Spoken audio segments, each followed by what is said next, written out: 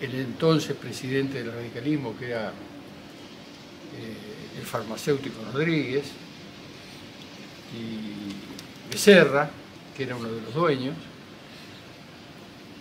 y contrataron a dos artistas de Junín. Scioli, que era un pintor que hizo el diseño, el dibujo, hizo varios dibujos, y La Torraca, que era un escultor, que hizo la obra escultórica de este mausoleo.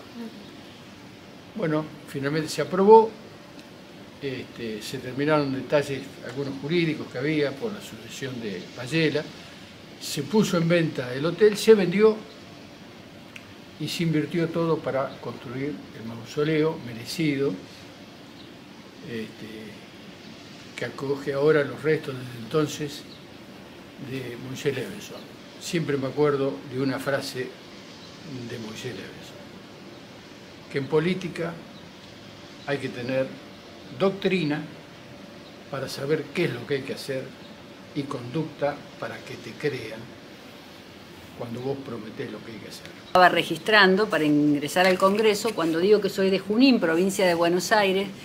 Levanta la cabeza, se le ilumina la cara y me dice de los pagos de Moisés Levenson. Realmente sentí un orgullo muy profundo.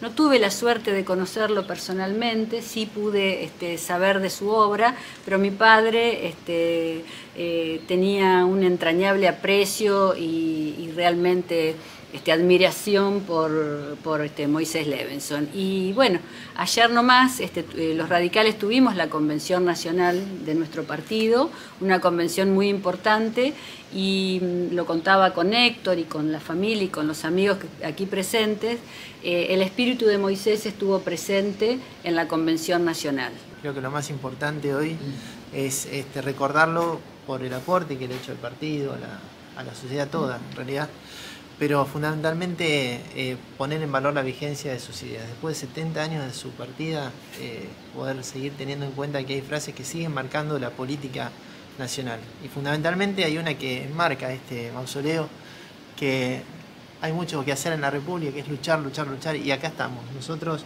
no solo recordándolo, sino poniendo lo que hay que poner desde el partido para poder este, hacer honor a su a su recuerdo, a su memoria. La verdad que es un honor haber tenido en Junín y que haya sido Moisés Levenson quien fundó la Juventud Radical de Junín y es un honor poder estar acá también representándonos a nosotros como su juventud, pues terminamos siendo su juventud, él nos fundó, él fundó nuestras bases, así que no mucho más que eso.